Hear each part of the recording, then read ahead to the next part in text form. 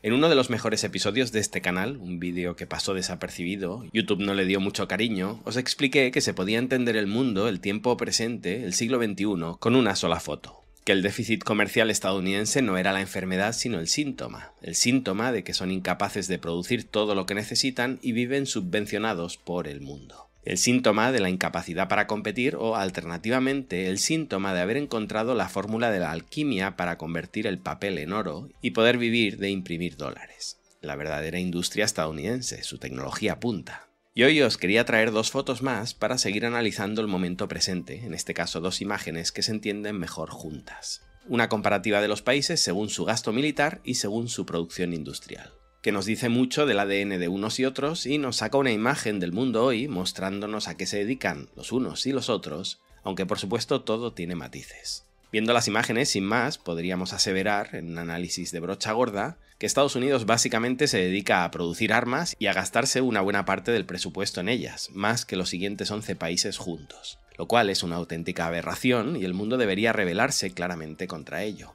Y en el lado derecho vemos quién en realidad se dedica a producir en el planeta y cómo China tiene una producción industrial superior a los siguientes seis países juntos. Lo cual también debería hacernos pensar hacia dónde va el mundo y poner en cuarentena los titulares que felizmente nos hablan del China se hunde, China no crece tanto como lo esperado, China solo crece un 5%, la verdad es que como analista siento bastante vergüenza cuando leo este tipo de noticias, además desde China, saliendo a la calle y viendo cómo crece el país a una velocidad inimaginable, inalcanzable por el resto del mundo, pero es que con este gráfico lo que quiero observar es que, aunque no fuera así, aunque China solo tuviera un crecimiento mediocre, como la mayor parte de nuestros países, un 2 o un 3%, o no creciera en absoluto un 0%, o incluso decreciera un 1, un 2 o un 3% sostenidamente en el tiempo, no quiero ni imaginarme la orgía editorial que se viviría en algunas redacciones. Aún así, con ese decrecimiento, el mundo tardaría décadas, no años, décadas, en alcanzar la producción industrial china.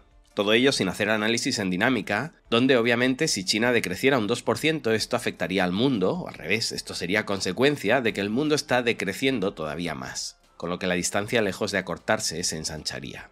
De nuevo, echemos un vistazo a las dos fotos, quién está focalizado en producir y quién está focalizado en gastar militarmente. Si entendemos esto, los análisis geoestratégicos son más sencillos. ¿Quién está formando la nueva ruta de la seda y para qué sirve? ¿Y quién está formando alianzas en el Pacífico para bloquear el comercio de China? ¿De qué tema se habla en una reunión en los BRICS y de qué tema se habla en la OTAN? ¿Cuáles son los intereses barra beneficios de Estados Unidos en la guerra de Ucrania y cuáles son los intereses barra beneficios de China? Unos están pensando en traer una guerra al corazón de Europa a ver si estos por fin se sienten indefensos y me hacen caso en eso de gastar más en armas, en mis armas, y otros están pensando, bueno, mientras tanto yo voy firmando acuerdos petrolíferos. ¿Quién va a China a comprar minas y quién va a financiar grupos terroristas, a derrocar gobiernos, a colocar a dictadores afines para obtener esos contratos con las minas, etcétera? quién instala 5G por el mundo y quién bloquea las instalaciones 5G, las inversiones tecnológicas que China propone por el globo quién firma acuerdos de libre comercio todos los años y quién los restringe, quién comercia cada vez más con el mundo, el mayor socio comercial del planeta, y quién distribuye cada vez más armas por ese planeta, regando el globo de bombas de relojería que siembran conflictos futuros que a su vez propiciarán más ventas. Obviamente hay de todo, China también le vende armas al mundo y Estados Unidos también comercia con el resto de países. Es una simplificación, pero es una simplificación razonable, justificada por el modus operandi y el modus vivendi de unos y otros. Después podríamos entrar también en otras apreciaciones más subjetivas como la cosmovisión de unos y otros o su ADN desde su misma conformación como estados. Y a futuro vemos que la cosa no cambia. Los que nos cuentan que China se prepara para invadir Taiwán inminentemente desde hace 74 años, porque la excusa más reciente necesita controlar la producción de chips de Taiwán, no ha hecho ni un ejercicio mínimo para contrastar esa lastimosa teoría, que es algo tan simple como entender a quién le vende Taiwán sus chips quién es el mayor socio comercial de Taiwán y a dónde van a parar todas esas producciones. La guerra de Taiwán, de provocarse, porque esto solo sucederá si alguien externo la provoca, tanto la China continental como Taiwán están perfectamente satisfechos con el status quo actual, como digo, de provocarse, no será en ningún caso porque China quiera controlar los chips taiwaneses, será justamente porque China controla los chips taiwaneses. Ese es el verdadero drama estadounidense. Y si, como explico, podemos entender el mundo de la geopolítica con esas dos fotos, Estados Unidos vendiendo más armas que todos los demás juntos y China generando más industria que el resto de esos países juntos, ¿cómo resumiríamos la realidad de hoy en el estrecho de Formosa? Sencillo. Taiwán es un equilibrio entre las armas que le vende Estados Unidos y los chips que le compra China. Un equilibrio Nash fuerte, ya que todos los otros escenarios generan perdedores. Si a China le bloquean militarmente el acceso a los chips de Taiwán, ¿qué sentido tiene mantener la paz? Si a Taiwán no le permites vender chips a China, ¿cómo va a pagar las armas que quieres que te siga comprando? Y si Taiwán deja de comprar armas, ¿qué le garantiza que su mejor cliente va a seguir comprándole chips respetando su independencia? China y Taiwán entienden perfectamente la ecuación, Henry Kissinger la comprendía perfectamente, pero claro, hablamos de estadistas. Los políticos estadounidenses de hoy, absolutamente desubicados, no parecen saber nada sobre comercio, no están suscritos a este canal, y claro, todo esto les suena a chino. De nuevo, ¿quién apuesta por el comercio y quién por la opción belicista? En cualquier conflicto, en casi todos los escenarios, cuando te cuenten que China amenaza, aumenta su presencia armamentística, escalada belicista, etc., plantéate a quién estás leyendo, por qué te lo está contando y qué pruebas te ofrece. ¿Alguna experiencia previa? No. China no ha estado bombardeando países en las últimas décadas, no ha lanzado ninguna bomba atómica, no ha pacificado ningún país recientemente. Paréntesis aquí, quédate con la pareja que te crea cuando le dices que Estados Unidos ha pacificado algún país a lo largo de su historia en los 100.000 conflictos en los que se ha metido, porque si es capaz de creerte en eso, se creerá cualquier cosa que le cuentes. Dicho todo esto, en mis análisis pretendo ser intelectualmente honesto, sincero, analizo la información con objetividad y más allá de mis sesgos, que como todo el mundo los tengo, pues cuando veo una puesta en escena tan sencilla, tan evidente, sospecho. Y si me juega a favor, sospecho todavía más, porque a mí también me cuelan fake news, este canal se nutre de analizar la basura informativa con la que nos describen China, con lo que, sabiendo cómo funciona el mundo, tengamos también espíritu crítico y falsemos la información para asegurarnos que no nos están colando un gol. En general he aprendido a desconfiar de todo tipo de noticias, datos, información estadística donde hay una mano que recolecta la información, y de la misma manera que según el teorema de imposibilidad de Arrow, la democracia tiene una carencia fundamental ya que es muy susceptible del método utilizado en sus normas de agregación, la data es muy susceptible de ser manipulada según cómo la recolectemos, la procesemos, etc. En la parte de la izquierda podríamos impugnar casi todos los números, de hecho podríamos impugnar hasta la bandera estadounidense que está mal. Más allá de esto, la mayor parte de los países gasta más de lo que se indica ahí, con lo que Estados Unidos ya no gastaría más que los siguientes 11 juntos, no sé, quizá gasta más que los siguientes 6 o 7 juntos. Es escandaloso, pero quizá no es tan escandaloso. Vale.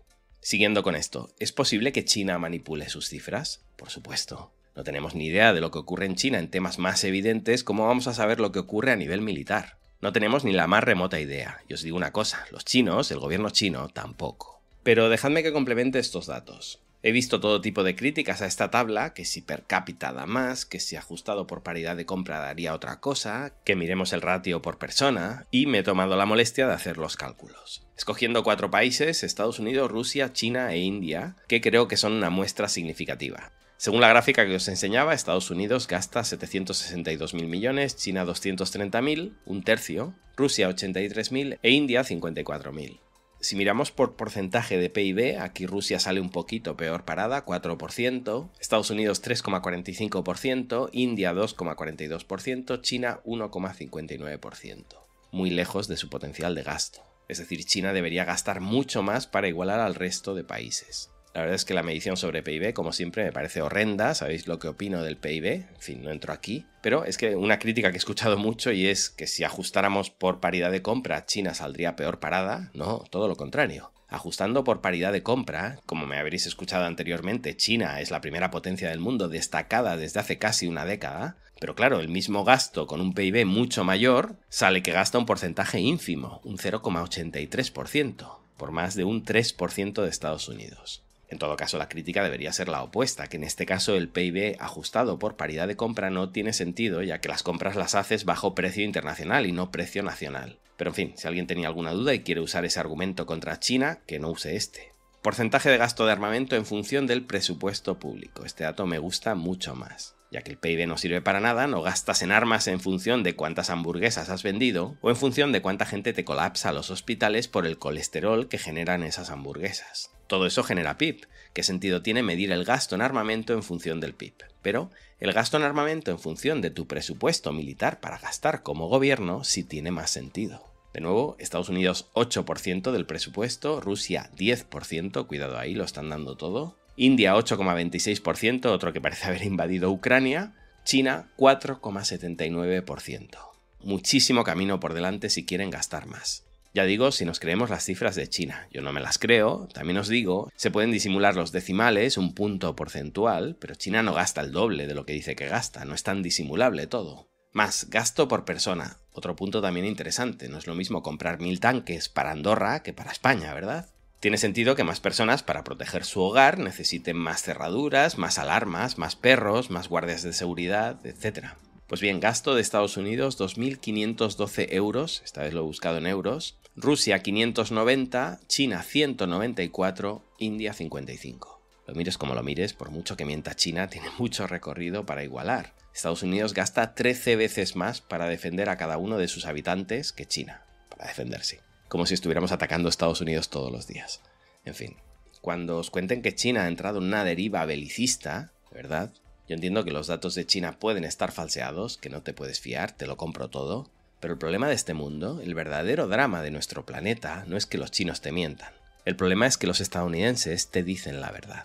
Más allá de esto, si queremos puntualizar más, si yo quisiera impugnar los datos de Adrián Díaz, ¿qué podría hacer? Es lo que hago habitualmente cuando desarrollo una tesis. Pienso, si esto lo hubiera escrito otra persona, ¿cómo lo contraargumentaría? ¿Por dónde atacaría? Es la manera que tengo de falsar mis argumentos y prepararme no para la oleada de trolls que vendrá a llamarme propagandista y todo eso. Me refiero a los que vienen de buena fe a poner en duda la información que les doy, que es lo correcto. Y si me pongo en ese papel, pienso, ¿es posible que parte de ese presupuesto militar estadounidense esté destinado a jubilaciones de militares, planes de ayuda para veteranos, el Tricare, que es el seguro médico de los militares y sus familiares, etc.? Claro que es posible. ¿Invalida esto la tesis anterior? Creo que no, creo que la complementa. Es decir, cuando pensamos en presupuesto militar pensamos en tanques, misiles, rifles o la parte menos armamentística, sueldos del personal efectivo, etc. Pero ojo, jubilaciones o seguros médicos de militares presentes o pasados no es un presupuesto menos orientado a la acción militar directa, es exactamente lo mismo. Es decir, dentro de los sueldos de los militares que están hoy en Irak, sí, todavía está repleto de soldados norteamericanos aquello, Dentro de sus sueldos hay una parte directa que se paga en la nómina a final de mes y hay una parte de derechos de vengados que se pagarán en el futuro cuando ese soldado se jubile. Es parte de su remuneración, es parte del pacto por el que ese tipo decidió ir a Irak a reventar puentes, extraer oro, petróleo, bueno, lo que fueran a hacer allí. Que pagues hoy parte de la remuneración por invadir Irak en metálico o la pagues mañana en forma de tratamientos médicos no deja de ser inversión absolutamente orientada al conflicto presente o futura, es decir, adeudada, con lo que no me sirve para refutar la tesis de la inversión belicista estadounidense. Otro argumento al que le he estado dando vueltas es el salario de los militares. Es decir, en Estados Unidos los cuerpos del ejército cobran más, por tanto quizá es injusto comparar lo que destina China y lo que destina Estados Unidos, cuando quizá un oficial estadounidense cobra tres o cuatro veces más que un chino. De alguna manera, para que lo visualicéis, la misma bala vale menos en China que en Estados Unidos. Por tanto, los estadounidenses podrían argumentar que no están gastando en más arsenal belicista, sino en el mismo, pero pagándolo sensiblemente más caro. Ni hablar si ese soldado ya ha formado parte de alguna cruzada en Tierra Santa para liberar el espacio de infieles. Un veterano cobra significativamente más, la experiencia se paga, y como decíamos, China no tiene currículum en eso de pacificar países. La última experiencia es de Vietnam en el 79, hace casi medio siglo, duró un mes, y los que no murieron dudo mucho que hayan cobrado grandes jubilaciones. Si nos vamos a la foto industrial, aquí no me paro mucho, ojo que Estados Unidos no lo hace tan mal. Ser hoy en día un tercio de China es para quitarse el sombrero, y no estoy siendo irónico. Bueno, un poco. Claro, si además le quitamos la parte militar disminuye notablemente. Todo esto teniendo en cuenta la cantidad de fábricas que se han ido ya de China, porque noticia, China es un país muy caro, aunque gran parte del mundo siga pensando que ponemos nuestras fábricas allí porque son baratos. Si es la primera vez que escuchas esto, por favor suscríbete y bucea por mi canal porque lo necesitas. Me he dedicado durante años a hacer puestas en marcha de fábricas, he tenido bajo mi cargo a más de mil personas, créeme, de sueldos en China sé un poquito. La mala noticia es esa, que a pesar de que en China hace años que ya no entran nuevas inversiones para montar fábricas, estoy generalizando obviamente, Tesla por ejemplo sería una excepción, me refiero a que ya no entran instalaciones masivamente como sucedía hace unas décadas y que muchas han salido. La mala noticia, en realidad hay dos. La primera es que China sigue produciendo un 30% de la industria del mundo, con un 18% de la población, una auténtica barbaridad. Y la segunda es que la región con mayor crecimiento industrial del planeta, el sureste asiático, está siendo desarrollada por China. Es decir, hay otro 8, 10, 12% entre Malasia, Indonesia, Tailandia, Camboya, Myanmar, etc., controlada por capitales chinos. Bueno, y si queréis más malas noticias, gran parte de las producciones industriales de Pakistán, Centro Asia, Oriente Medio, África y en menor medida otros continentes también están controladas por los chinos. Uf, pero quedándonos solo con esta gráfica, que no quiero deprimir a nadie, que menos de un quinto de la población sea el causante de casi un tercio de la producción industrial, ya debería hacernos reflexionar sobre hacia dónde va el mundo, sobre qué región me tengo que informar más porque me va a afectar más, y sobre cuál he estado perdiendo el tiempo informándome durante décadas, te pongo un ejemplo, que conozcas el nombre de 30 o 40 ciudades de Estados Unidos, quizá más, y que con suerte conozcas el nombre de 4 o 5 chinas y escribas correctamente dos, también es para darle una pensada. Repito, Estados Unidos es un tercio de la producción de China, y probablemente sepas infinitamente más sobre ellos que sobre China. Teniendo en cuenta que todo lo que llevas puesto sea probablemente fabricado en China, que el teléfono celular desde el que estás reproduciendo este vídeo sea fabricado en China, que como decía en un episodio anterior, tu próximo coche vaya a ser chino, perdón, perdón, perdón, a menos que pienses que lo importante es la foto de la izquierda, porque lo que te va a afectar en un futuro es una posible guerra, que no lo descarto, entonces bien, nos va a servir de mucho conocer Estados Unidos para saber que el marine que desde su tanque está volando por los aires, vuestra granja o el taller de reparación donde trabajáis es de Washington, pero no la ciudad, sino el estado, que está en el otro extremo del país, la cultura no ocupa lugar, pero no, de verdad, en serio. Si queréis saber qué cosas pasan en el lugar donde pasan las cosas, dónde sería más productivo enviar a tu hijo a hacer un máster, dónde viajar para encontrar oportunidades de negocio, etc., quizá la foto de la derecha debería hacerte pensar dónde está pasando todo a nivel comercial. Y un argumento que utilizo a menudo es si quieres avanzarte al futuro y piensas sureste asiático, bien, no está mal la idea, pero si has comprendido todo lo que te he comentado sobre la influencia china en esta región, todo lo que aprendas hoy sobre China te servirá como cuando aprendíamos mecanografía con la máquina de escribir y ya asomaban los ordenadores. Créeme, te servirá. Y un último argumento, por seguir haciendo de abogado del diablo con la tabla, intentando, como os decía, falsar todos mis argumentos, la pregunta, ¿le encantaría a China comprar más armas o armas más potentes si tuviera una economía mayor? ¿O está bien como está? No, no, le encantaría. ¿Y le encantaría a China venderle más armamento al mundo y regar el globo de bombas? Por supuesto. Ante cualquier debate así, recordad, analicemos criterios de deseabilidad y factibilidad. ¿Es factible? De momento no. ¿Es deseable por parte de China? Por supuesto. La pregunta aquí sería, y cada cual en función de su sesgo responda. ¿Estaría dispuesta China a ir provocando guerras por el globo cada dos añitos a modo de showroom, lo que hoy en día viene a ser la Feria Internacional del Armamento, que llevaba tres años que la organizaba un competidor y ya es que no nos aguantábamos más y unos locos con turbante nos han propuesto hacerla en su país, haciéndonos una oferta irrechazable y hemos dicho, tardó dos segundos en montar un stand. ¿Valdría China para eso? Con vídeos en directo para los clientes interesados, pruebas reales, no con animales, que se nos tira Greenpeace encima, directamente con humanos. Que eso salta directamente a la ONU y ahí tenemos mano, eficiencia garantizada, sin ningún tipo de restricciones, hospitales, mujeres, niños... No hay problema, la cantidad de productos de nuestro catálogo puede verse en acción sin límites. Repito, ¿estaría dispuesta China a competir en el sector de los eventos? Me cuesta creerlo, pero hay quien dice que es algo inevitable y que más vale malo conocido porque lo que vendrá el día que Estados Unidos no lidere será mucho peor. Honestamente, no lo sé. Lo dejo para que debatáis, me interesa vuestra opinión, os leo en los comentarios. Gracias por interesaros en este canal y espero haber agregado valor a vuestra perspectiva de visión del mundo. Y hoy, más que nunca, os dejo con un proverbio chino, quizá el más conocido del arte de la guerra de Sun Tzu. El supremo arte de la guerra es someter al enemigo sin luchar. El día que Estados Unidos se percate finalmente de esto, que mientras corrían para hacer más barquitos que los chinos, aviones de última generación para enfrentar los nuevos aviones de tecnología china, bombas más potentes que compensen el creciente arsenal nuclear chino, el día que descubran que la partida no se iba a decidir en el terreno de combate, que los chinos nunca aspiraron a eso porque no está en su ADN, el día que descubran que la partida ya se jugó, que era la otra foto la que importaba y ya perdieron, ese día con todos los portaaviones ya oxidados en el estrecho de Formosa esperando el ataque chino, descubrirán que el verdadero arte de la guerra era someter al enemigo sin luchar.